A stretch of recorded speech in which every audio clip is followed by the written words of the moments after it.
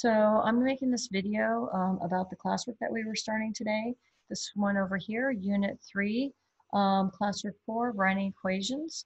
Um, and so this was writing the equations of parallel and perpendicular lines. Um, I had gone through part of it with you guys in class. I was writing it on my tablet. Um, a lot of us are probably typing it on our computer.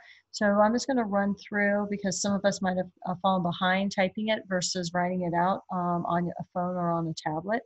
So, uh, and I'm going to go through the ones that we didn't cover. So let me just uh, switch over to um, another screen so I'm not writing on the original.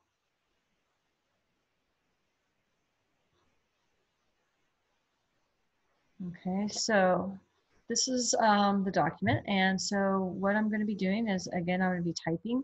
And um, if you want a text box, this is your text box.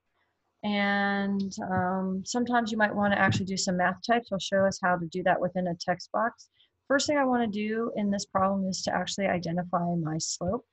And my slope is going to be the number in front of our x. So I'm looking at the number in front of our x, which it doesn't look like there's a number, but really it is the number one.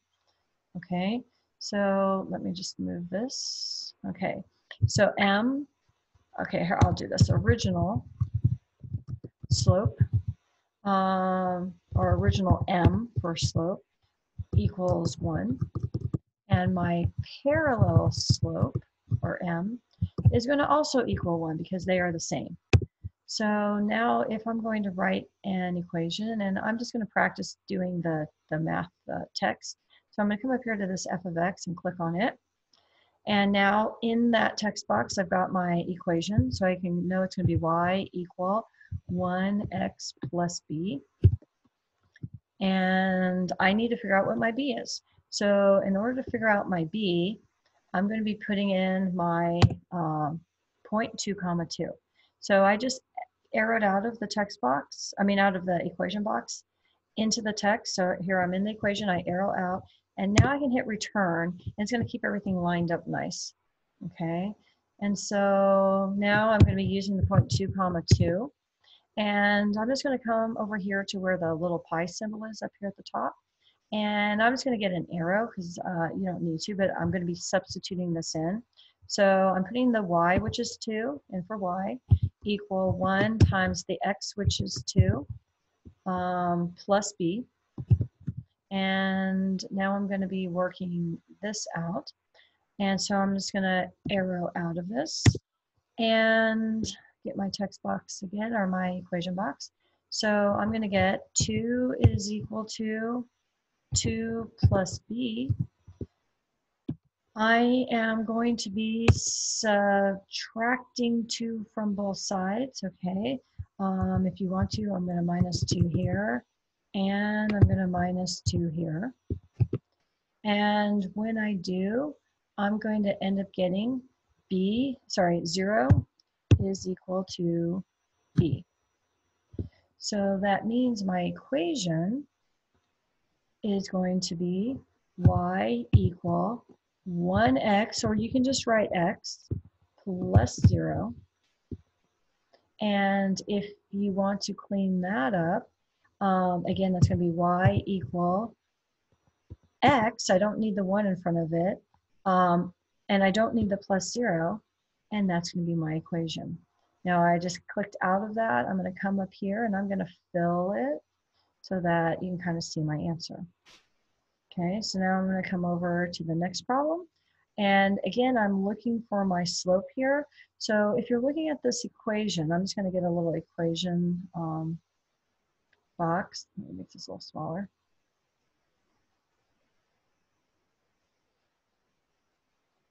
So if I am looking at this y equal 3, this is really y equals 0x plus 3. That's really what it is. I don't have an x term, so there's a 0 in front of it. So what that means is my slope is 0. So my original slope, or m, is equal to 0. And my parallel m is also equal to 0. So now I am going to get my um, little equation text box and I know that this is going to be y equal 0x plus b. And I'm going to be putting in my point, which is 4 comma 3. So I'm going to be putting in 4 comma 3. And again, I'm going to come here to little pi, and I'm going to get the arrow. Okay, and so that means if I put in 4 for my x and 3 for my y, I'm going to get 3 is equal to 0 times 4 plus b. And when I do that math, I am going to get 3 is equal to, whoops, 3 is equal to 0 plus b. So b is going to be equal to 3. Okay, b is going to be equal to 3, which means that if I'm going to write the equation, y is equal to 0x plus 3, and 0x is really the same as um, just this being 0 plus 3, so y is equal to 0. Okay, I'm just going to come and get my arrow. So I am going to be typing in y equal 3. And I'm just going to get out of that text box or the equation box, come up here and highlight it. Now you might notice that this equation is actually the same as this. That just happened in this case because this happened to be a horizontal line um, that had to go through 4 comma 3 where your y is 3, so it ended up being the same equation. That doesn't always happen. Okay. Um, so now let's look at uh, number 3. Again, parallel. So I'm going to be looking at the number in front of my x, which is this 3. And so now I'm going to um, get my text box. Uh, I know my original slope, and I'm just going to fill right now so you can see it. Okay, so my original slope, or m, is equal to 3, and that means my parallel slope, or m, is also equal to 3, because they have to be the same. I'm going to come grab my little equation box.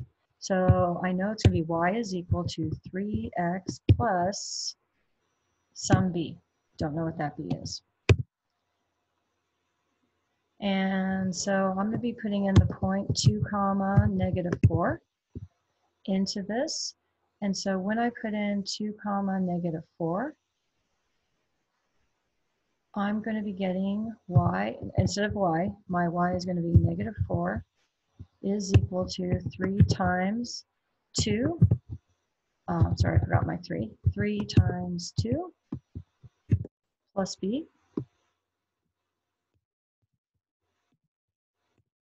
And so when I do that math, I'm going to have negative 4 is equal to, and when I do my 3 times 2, I get 6 plus b. I am going to be minusing 6 from both sides, so I'm going to be minusing 6 from here. I'm going to be minusing 6 from here.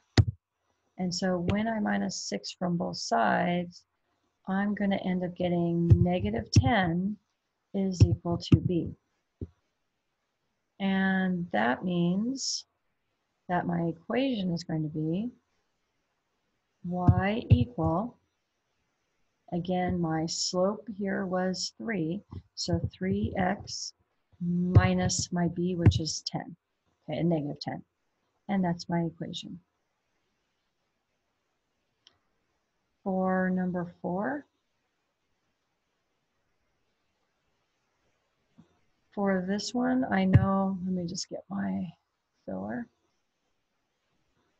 I know my original slope is going to be negative 2 fifths, okay? Um, I'm going to come and grab my fraction or my, my um, equation. So I can just do negative 2 backslash 5, okay? So that means that my parallel m is also equal to that. Okay, so it's also equal to a negative 2 fifths because parallel slopes are equal. Let's move this up a little. Okay, so now um, I'm going to be putting in the point um, 5 comma negative 1.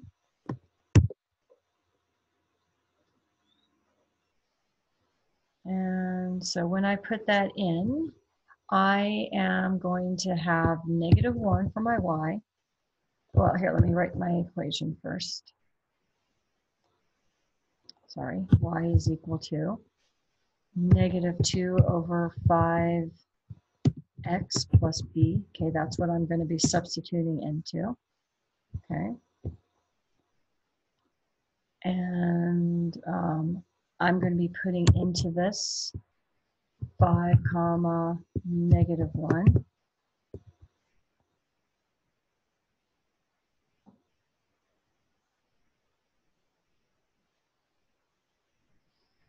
And so when I do that math, I'm going to be putting in a negative 1. grab my equation. Uh, negative 1 is equal to uh, negative 2 over 5 times 5. Now, if you want to think about this 5, this 5 is really 5 over 1. Okay, so when you're you're doing that, the 5 is really multiplying with the top. Okay, so I get negative 10 over 5 or negative 2 when I do that math. Okay. So again, I'm going to have negative 1 equal. And when I multiply this together, again, I got negative 10 over 5 or negative 2 plus b. I am going to add 2 to both sides. So I'm going to add 2 here. I'm going to add 2 here. And when I do that, I'm going to end up getting 1 is equal to b. So my equation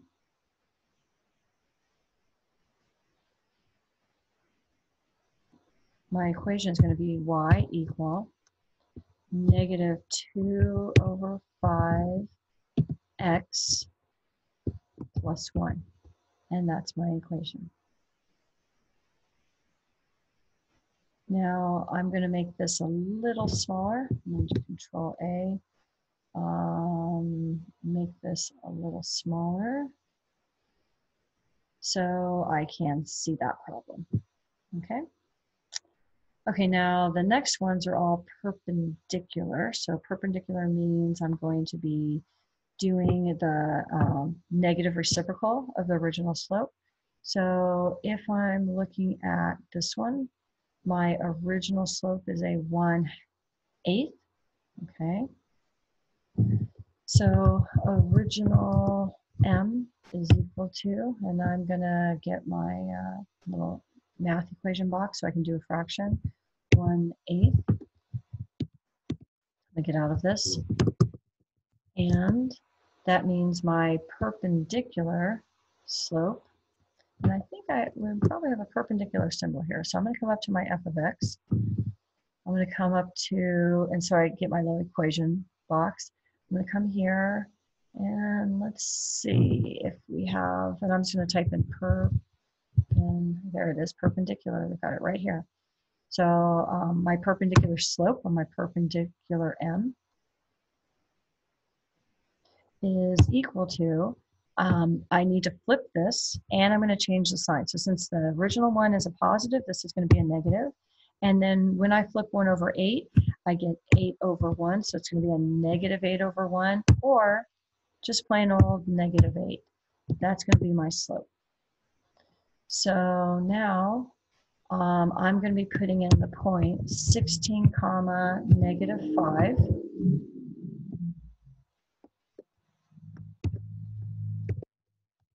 Into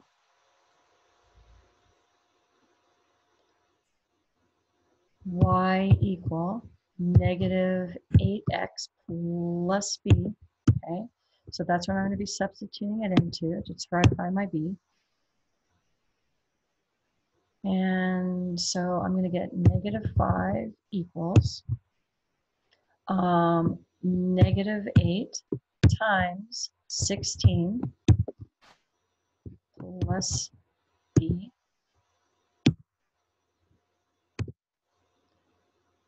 and that's going to give me negative 5 equals.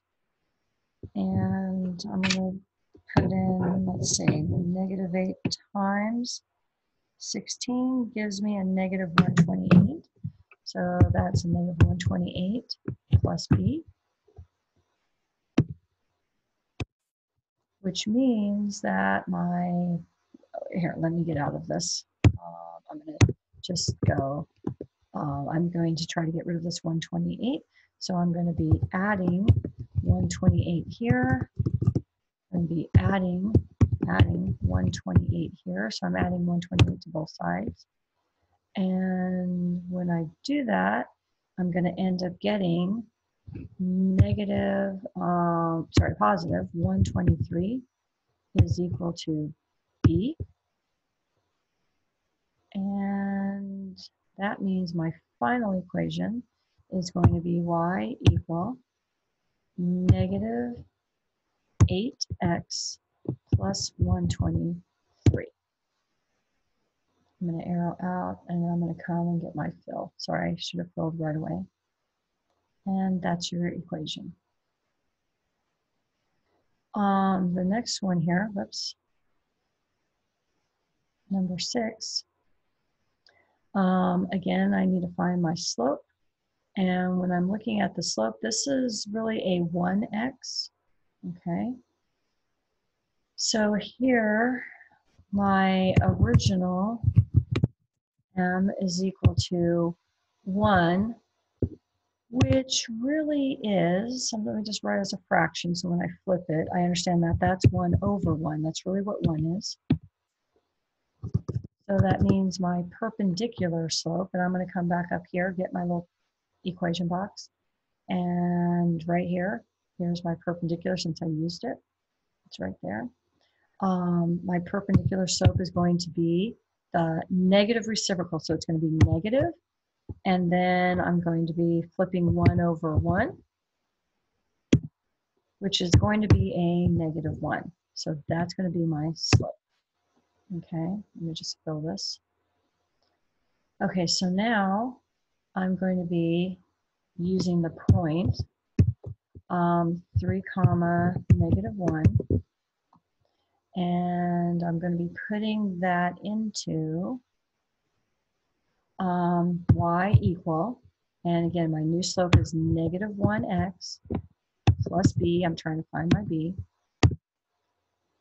And so when I do that math, I'm going to get negative 1 equals negative 1 times my x, which is 3, plus b,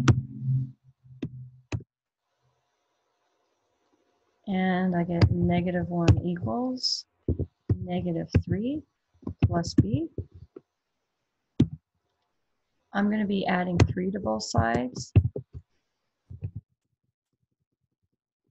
So I'm adding 3 to both sides. And when I do that, I'm going to get for my b, 2 is equal to b. Okay I get 2 is equal to b. And that means that my final equation is going to be, let, let, me get back in the text, in the equation box, y equal, um, again, negative 1x plus 2, or if I want to clean that up, um, that's going to be y equal negative x plus 2 because negative 1 times x is just a negative x. Um, the last ones here, okay, identifying my slope. Here's my slope. It's 5 thirds. That's my original slope. So original m is equal to, and I'm going to get my little equation box. So I can do as a fraction, 5 thirds. Whoops, too many fractions, 5 thirds. And um, that means my, i grab another one of these, perpendicular, perpendicular slope is going to be equal to the negative reciprocal. So since that's positive, this is going to be negative. Reciprocal of 5 thirds is 3 fifths. So it's going to be a negative 3 fifths. Okay, so I am going to be using the point on negative 5 comma 5 and I'm going to be plugging that into my equation which will be y equal and again I'm using that new slope negative 3 over 5 arrow out of that x plus b And if you want to line things up differently, you can kind of space over here if you want, and then grab your f of x. Um, and I'm going to put 5 equal negative 3 over 5 times my x, which is a negative 5, plus b.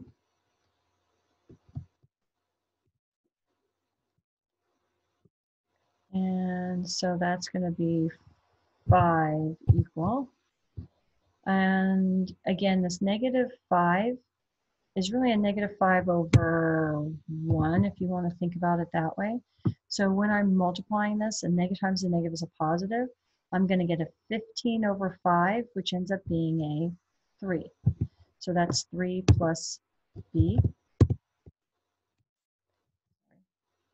out of my equation. Okay, so 5 equals, and again, that's going to give me 3 plus b, which means when I minus 3 um, each side, and if I want, I can take this and do control U, so I get like an underline underneath if you want, but then I have to make sure I get out of that. Um, and I'm going to end up getting positive 2 is equal to b. Move it up a little. So my equation is going to end up being y equal, again, my slope was a negative 3 over 5, and then x plus 2. And that's our equation. Last one here. Um, let me just move this over. Move it up a little bit. Okay, so for this one, uh, my original slope is this negative one half. So my original m is going to equal, let me move it so we can see the problem, sorry. Um, I'm going to grab my equation box, negative 1 half,